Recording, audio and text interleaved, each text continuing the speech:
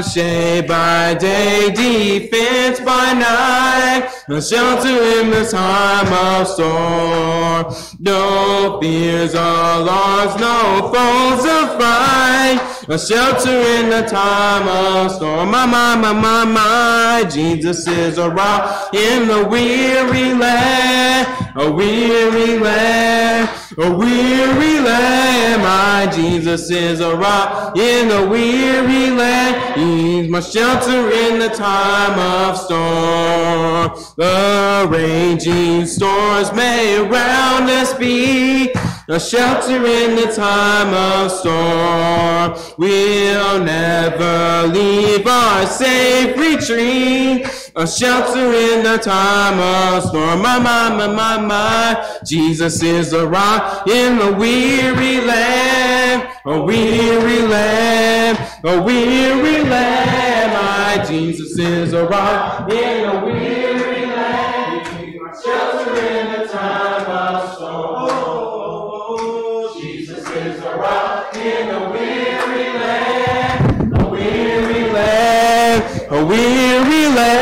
My Jesus is a rock in a weary land. He my shelter in the time of storm. My, my, my, my, my. Jesus is a rock in a weary land.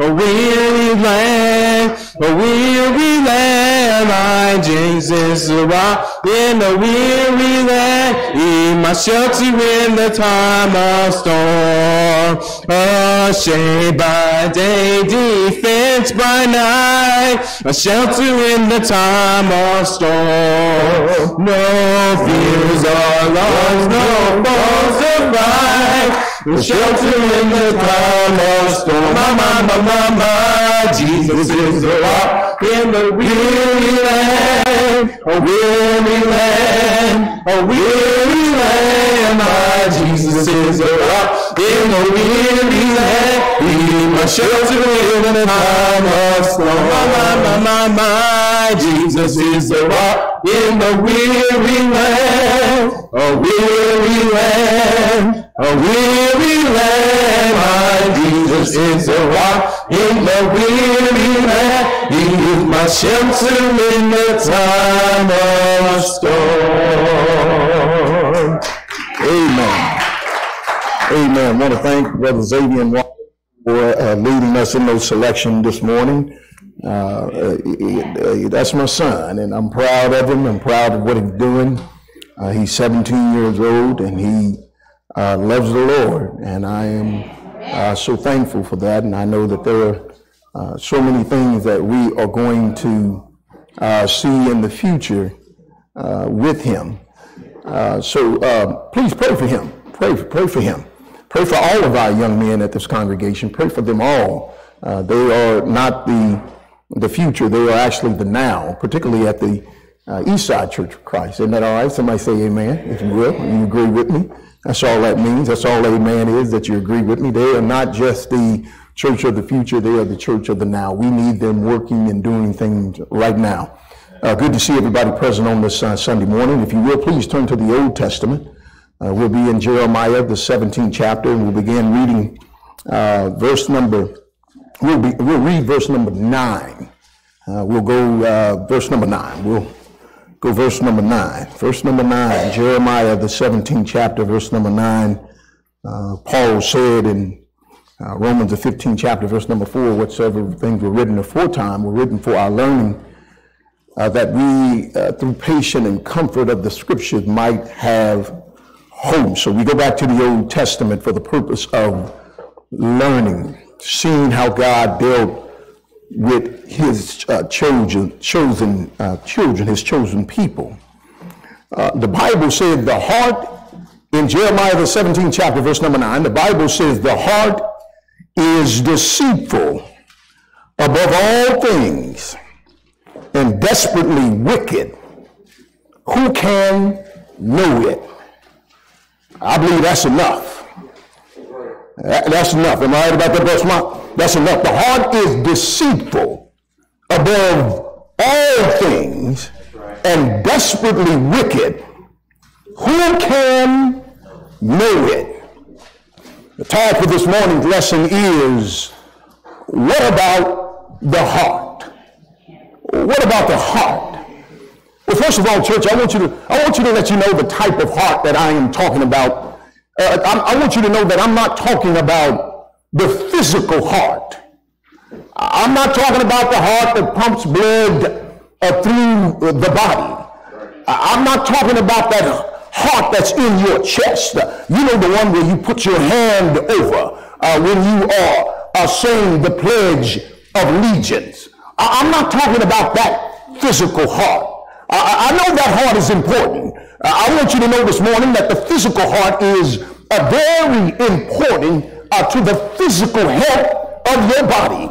See, as long as the heart is doing what it's supposed to do, as long as the heart is functioning the way it is supposed to function, uh, Brother Smith, as long as the heart is uh, supplying blood through uh, the arteries of the body, then every extremity of the body ought to be reached with the blood flow from the heart.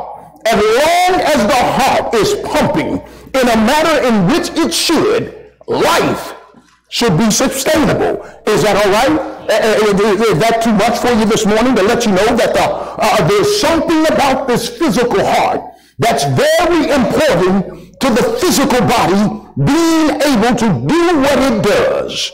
If there is problems uh, with the heart, there is going to be problems uh, with the body. Uh, does that make sense? If there are problems with the physical heart, there are going to be problems with the physical body. Uh, let me give you an example. If your heart does not pump blood all the way to the extremities of the lower part of your body, uh, let's say particularly on the right side, and blood ceases to flow into your foot, then we've got a problem. And that problem is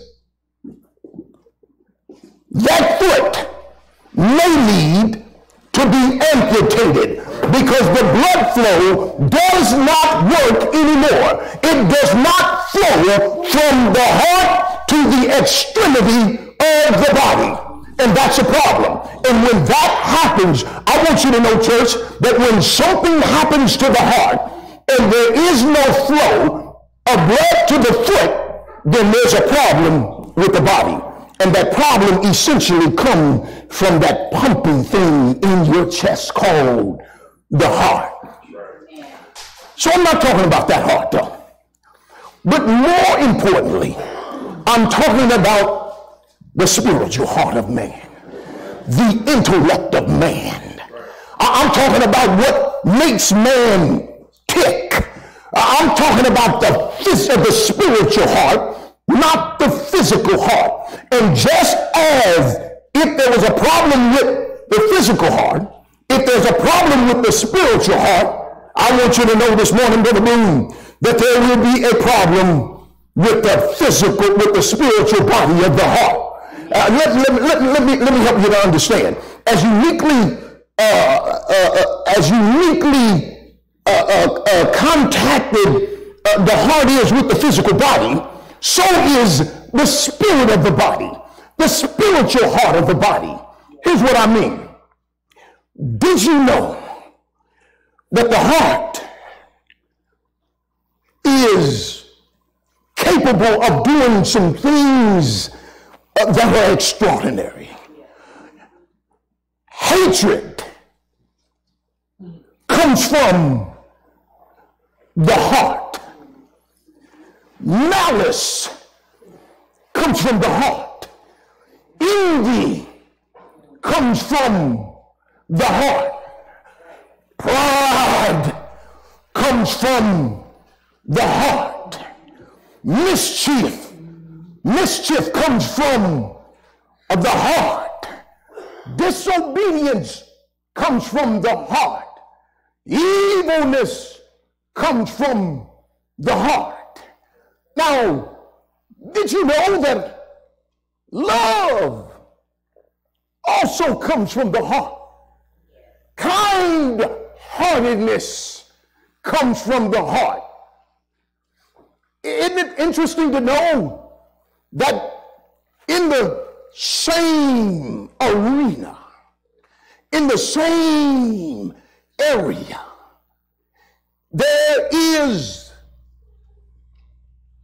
a heart of goodness that is in the proximity.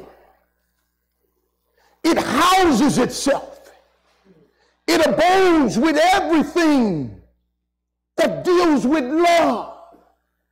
Hatred and love exist together in the heart.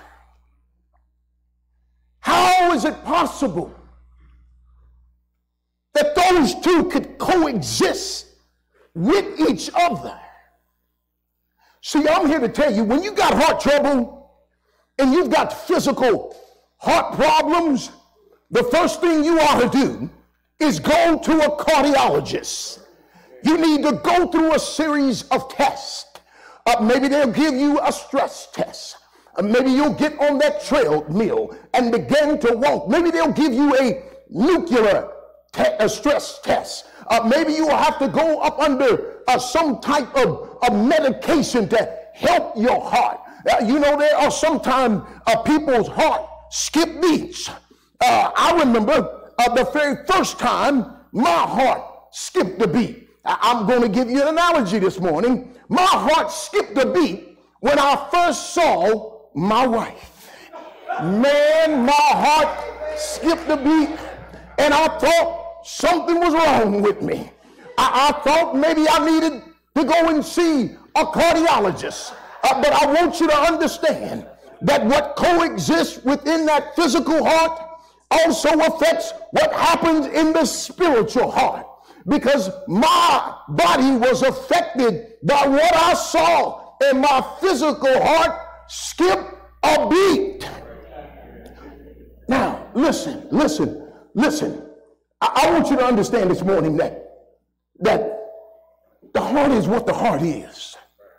So, what about this heart?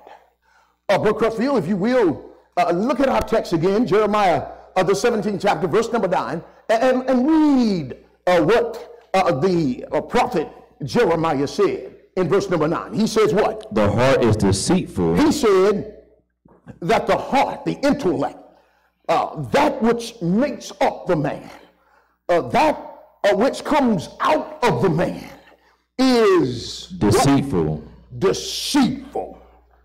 Oh no, you can't tell me that, Brother Wallace. Who do you think you are to say that as good a person as I am, I'm a righteous person. I'm a kind hearted person. I, am a person that does everything right. I, am a person that understands that uh, my heart is a good heart. I, I got a kind heart. I'm always nice to people. I'm always doing those things uh, which are right.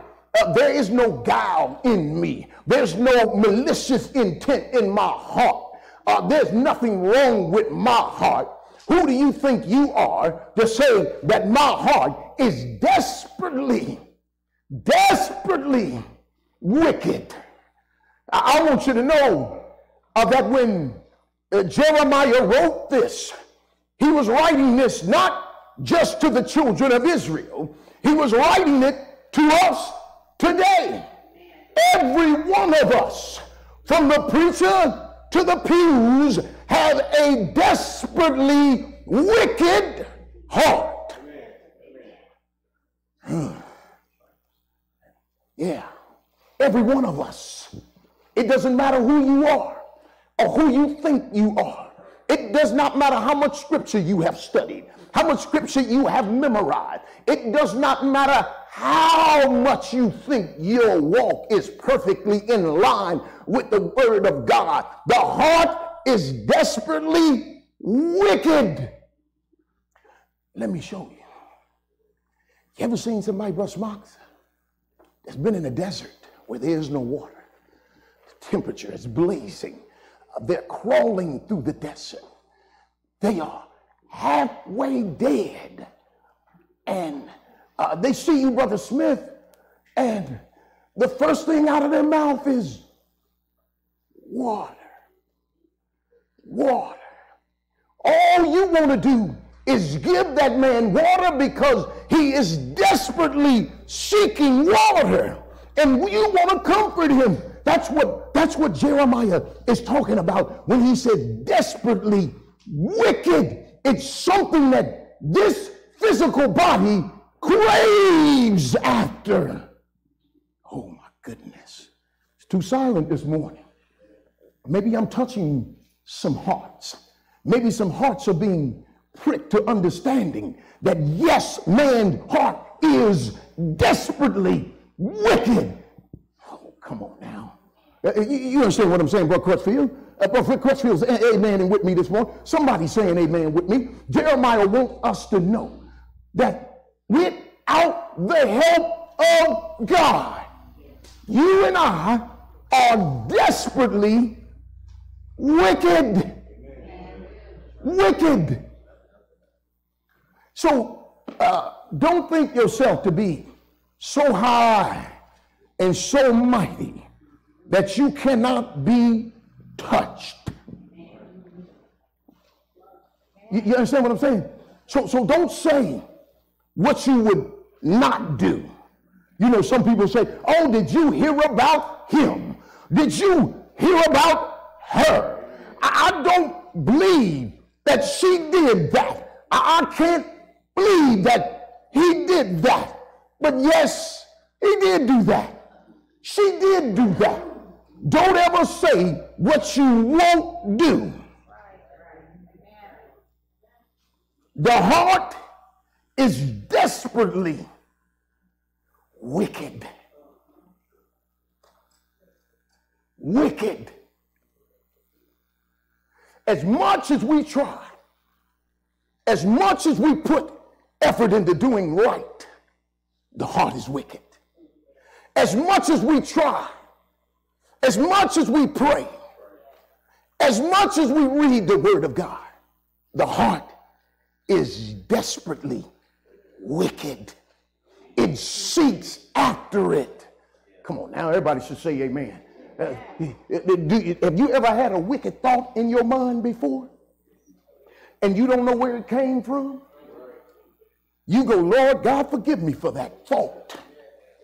The heart is desperately wicked. Because Phil, uh, read on uh, what Jeremiah says in verse number uh, number nine of Jeremiah the 17th chapter. Read. The heart is desperately. The heart is desperately wicked. Rather, the heart is deceitful above all things. It is deceitful above all things and desperately wicked. Desperately wicked. Who can know it?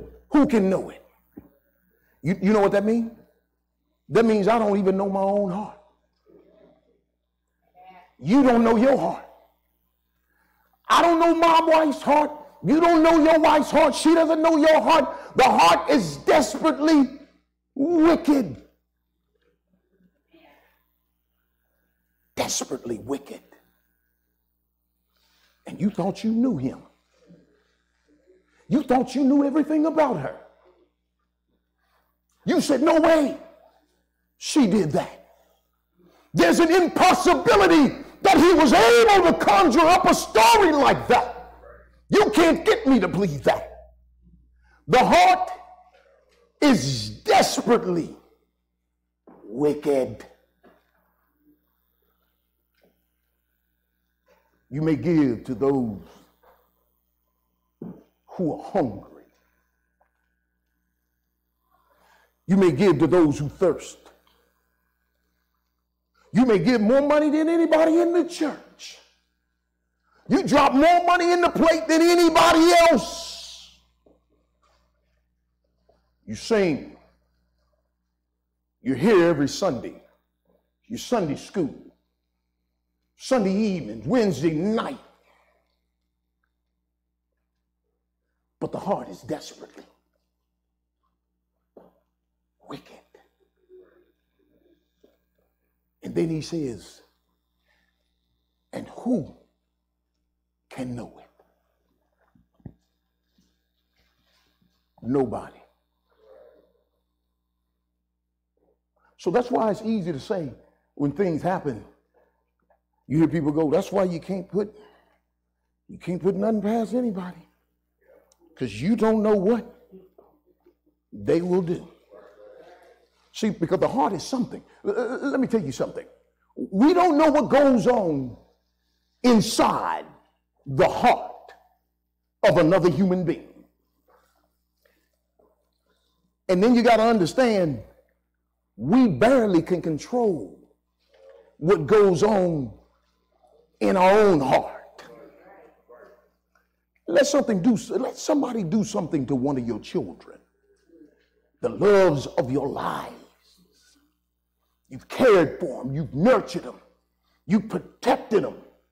And somebody does something to one of your children, the most innocent on the planet. The heart is desperately wicked. I'm just trying to get us to, uh, to help us this morning because, see, there's some things that we have to do uh, with this heart. No differently than the thing that we have to do with this heart.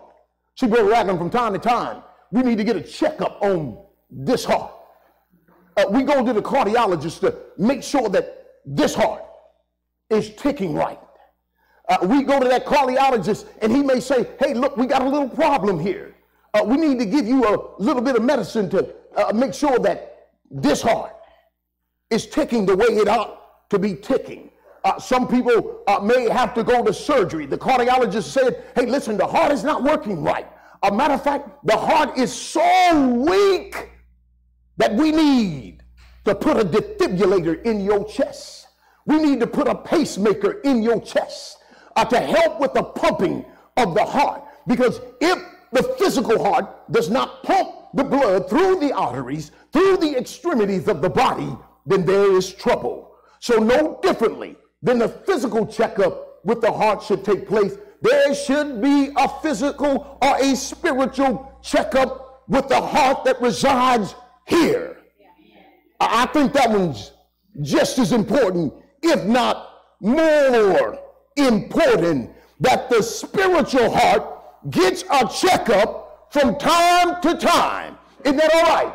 Uh, so, what does that checkup uh, consist of? But Crutchfield, uh, go to uh, Proverbs uh, the fourth chapter, uh, verse number uh, uh 23. Uh, there's some things that has to happen uh, with the spiritual heart that's very, very important. Read what it says, Brother Crutchfield. Keep thy heart. He says, do what? Keep thy heart. He said, keep thy heart, or some of your versions may say, guard your heart. Read on.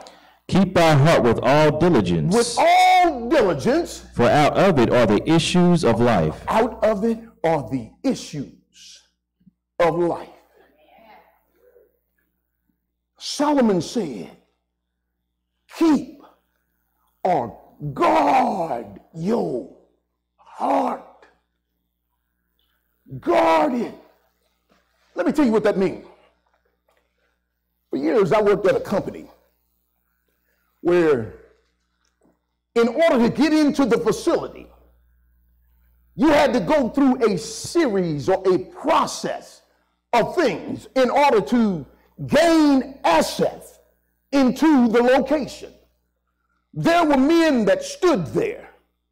They were called guards.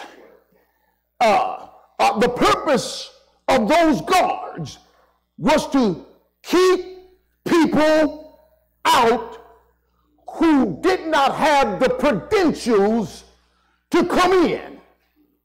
Come on now, say amen. Some of you work at locations where they do that right now. You go through what's called a, an inspection. There's a process. You may go through a metal detector. Uh, you may go through a, a, a, metal detector and you may beep and someone warns you. Go to any courthouse in any municipality and you will meet a guard before you gain asset into that particular courthouse. Am I right about it? Say amen. And if you beat, they're going to warn you. They're going to make sure that you are able to come in the church uh, with the spiritual uh, heart. When Solomon says guard it, that means there's certain things you just don't let in. There's certain people you just don't let in. You guard it. You guard your heart because the, the, the B clause of that of, of 4 and 23 said, because it is the issues of the what? Of life. Of life. Everything flows from here.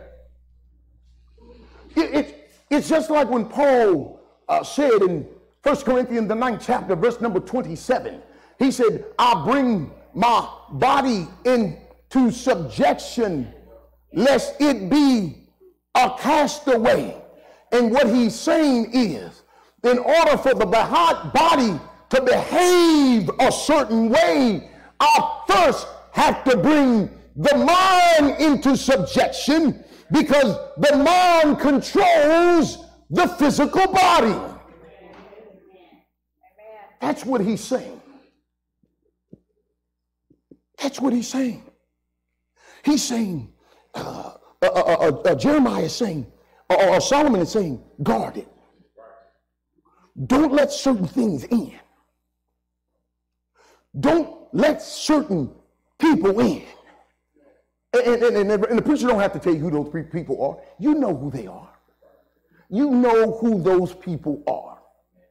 I know who the people are in my life that I gotta, I gotta make sure that they don't get in here because if they get in here, they have now caused some problems for me.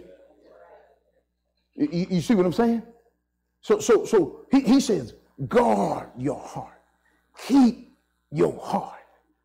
Don't let negativity into your heart. Did you realize if, it, watch this, if, you, if folks just constantly tell you things that are negative, you will probably become what they say. You will never grow up to be anything.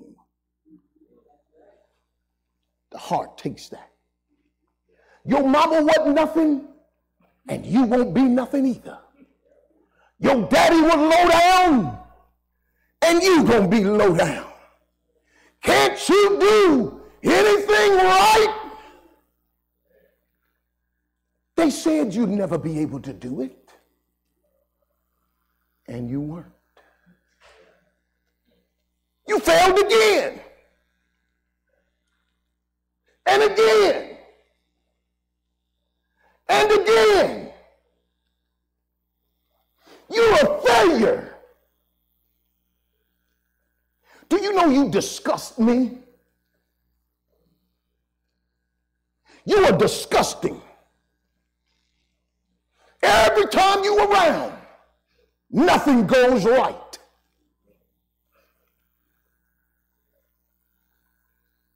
I really don't know what to do with you. I've asked over and over and over again, and you still can't get it. What's so hard with learning that? Is it that difficult?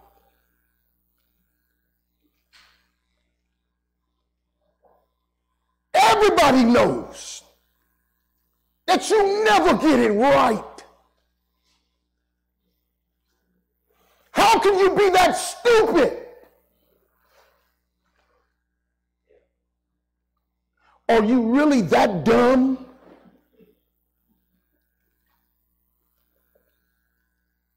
You can't do anything right. You instill that in a person's heart, and that's what they began to believe. That's why it's so important that you guard your heart. You know what to let in. And you know who to let in. Go back to our text. Go to Jeremiah, uh, the, the, the uh, uh, 17th chapter. And I want you to begin reading at verse number uh, 7 because I want to tie this all into what Jeremiah is saying when he said uh, the heart is uh, deceitful and, and desperately uh, wicked, who can uh, know it? Read verse number seven, if you will, Brother Crutchfield. Blessed is the man that trusteth in the Lord. Blessed is the man that trusted in the Lord. I ain't trusting in you, Russ Smith. You're a great guy. You're a good guy. You're kind hearted. I like you. We like birds of the feather. We flock together. Sometimes what you think is the same thing that I think. But I can't trust in you because your heart can be desperately wicked. My heart can be desperately wicked. So I'm going to put my trust in God. And I'm advising you to do the same thing. Because if you put your trust in me, I am most certainly going to let you down.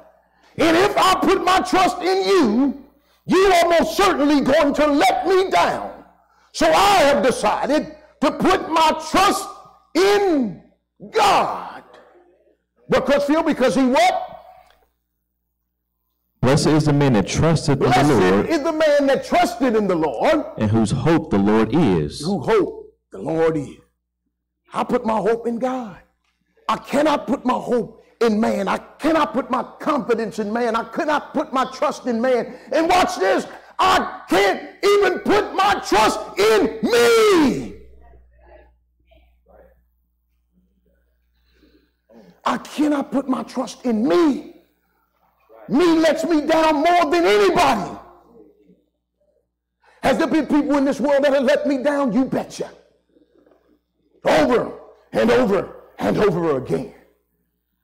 But get, get this, Brother Mark. I've let myself down more than all of the people who have let me down combined. I put my trust in God. I won't even put my trust in me. Because if I put myself, my trust in me, I am deceiving myself. To think that I'm that righteous. To think that I'm just that good. To think that I got it all together. When I don't. Say amen when you can, because you don't either. None of us do. The only way we have it together is if we've got God on our side and we put our trust in Him. Now, now, now read, read, read on to verse uh, number eight, if you will. For he shall be as a tree Watch this. For He, talking about God, should be as the tree planted by the waters. by the waters that what? that spreadeth out her roots by the river, Spread it out her roots. and shall not see when heat cometh, Say that again, brother. When He cometh, what? and shall not see when heat cometh. When heat cometh, keep going. But her leaf shall be green, But her leaves shall be green and shall not be careful in the year of drought, and shall not be terrible in the year of drought. Now, watch this. The- the- uh, listen, everything is there. I'm talking about what about this heart? Everything is there for the heart. If you trusted in God, if you put your confidence, if your faith is in God, everything you need is right there. He said, like a tree planted by the waters. But Smock, we know that a plant, in order for it to nourish, in order for it to grow, in order for it to have strong roots, it's got to have water. And when it has water, it will produce certain things. The leaves are green. If it's a type of tree that produces a fruit, it produces fruit. And matter of fact, it produces good fruit. It can't be moved. But a man that trusted in his own heart would rather be in the drought and the heat of a desert than be planted by the waters that nourish and nurture, and cause it to grow up to be strong and produce fruit and good fruit.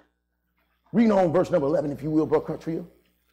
Or verse number 10. Which one? What, what verse? Nine? Verse number. Nine and 10. Yeah, yeah. Read, read verse number 10.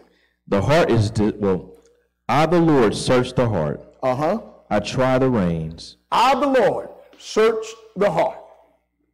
Go on, read. I try the reins I try the rain even to give every man even to give every man according to his ways. according to his way. God puts us in certain situations. He puts us in certain situations where the heart has to make a decision. And he's watching to see what you and I are going to do. And he says, You're going to receive your recompense. You will receive your just due. You will receive your reward based off of your life, based off of the tests or the trials that I put you in. What he wants you to do is trust in him. Listen, church, you cannot even trust in your own heart. If you say you're right, righteous, you're deceiving yourself. If you say you, you're able to, uh, uh to uh, listen, listen, have you, have you ever told yourself that I'm strong enough to put myself in this situation and not be scathed by it? Am I strong enough? You told yourself, I'm so strong, I know I can put myself right in the middle of this and walk out of it not even be touched. You, you ever did that, Brother, Brother Smith? You, you said, I, I got this. I got this. I'll be able to walk through this fire and not even have my hair be singed. See, see, we do that from time to time. And it was Judgment Day, honest, every last one of us had put ourselves in the situation where we know we're done things and are doing things and have done things, put ourselves in precarious situation because we think we righteous enough. We think we strong enough. We think we got halos and wings and angels and we can get through this. You know James Brown? You know the godfather of soul? Back in the 70s? You remember Bootsy Collins. You know, Bootsy Collins was his bass man. And do you know what James Brown did to Bootsy Collins? He fired him. He fired him. He fired him because he was using drugs. He was getting high. They were taking heroin. And James Brown didn't want to have nothing to do with that. James Brown was all about uh, race relations, equality, uh, doing better. And that's what James Brown was about. He was never about drugs, never about alcohol until he turned 40 years old and everything changed about the godfather of soul everything changed. Here's a man that was an advocate for doing everything that was right, now doing everything that was wrong.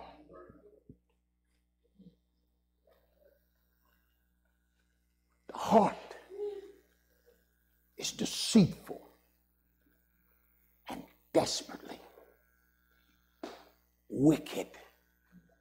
And the only way you and I can ever know that our hearts are right is if we guard it against everything that comes its way that's unrighteous. Look at verse number 17 of our text. And then we'll be done. Be not a terror unto me. Be not a terror unto me. Thou art my hope in the day of evil. Thou art my hope in the day of evil. There's no greater help than God. Amen. No greater help in a time of trouble yes, than in God. This message is what about the heart? The heart should always trust in God and not in itself. Man's intellect is always trying to deceive, always desperately wicked. That's why we always have to hang on to God's unchanging hand. If not, we'll find ourselves in the same situation. Mark Crutchfield reads uh, Jeremiah the 17th chapter, verse number 14. And then we'll be closed. Then we'll close. Jeremiah 17 chapter, verse number 14. Heal me, O Lord. He says, Heal me, O Lord. And I shall be healed. And I shall be healed. Save me, and I shall be saved. Save me, and I should be saved. For thou art my praise. Did you hear that today, church? We have to rely on God. We must rely on God. Amen. For all our healing, for all our salvation, everything we do has to trust in God, has to rely on God. And our heart have to be involved in it. God knows. He knows every nook, every corner, every spot in here. He knows this better than you know this. And when the heart is pricked, when it's sincerely pricked, then a change takes place. And when a change takes place here, it follows everywhere else. Yeah. You know why I know that to be true? Acts, the second chapter, verse number 37. It says, and when they heard this, they were what? Pricked in their where? In their hearts. And they said, men and brethren, what shall we do? It's about the heart. The heart has to change before anything changes. That's why people struggle and, and, and, it becomes so hard for them to, to, to do things uh, that are related to a change taking place because they have yet to be pricked in their hearts. When your heart is pricked, a change takes place and it's not just visible to you, it's visible to others. They see that there's a change. Your speech changes. Your behavior changes. And because your speech and your behavior change, your thought pattern is what changed. Your heart is what changed.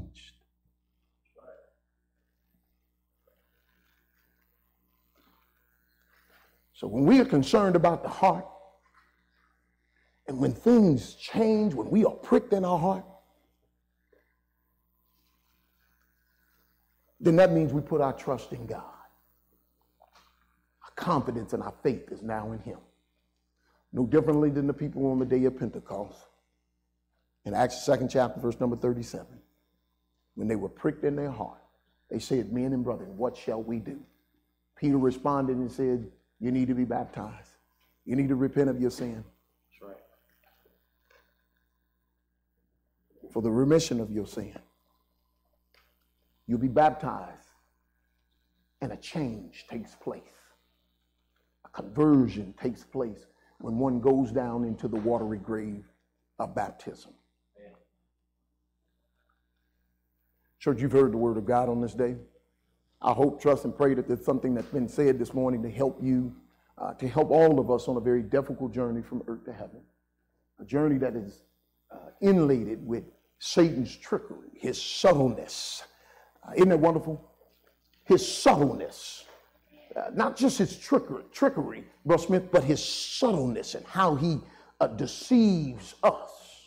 That's why he is called uh, the great deceiver, because his job is to deceive us into believing things that are not so. You've heard the word of God on the day. You become a member of the church that you can read about in the Bible, not just the church, but the church that Jesus died for the only one that you could read about in the Bible, the only one that was ever established in the Bible. You become a member of that by hearing the word, according to Romans the 10th chapter, verse number 17. Believing in it according to Hebrews the 11th chapter, verse number 6.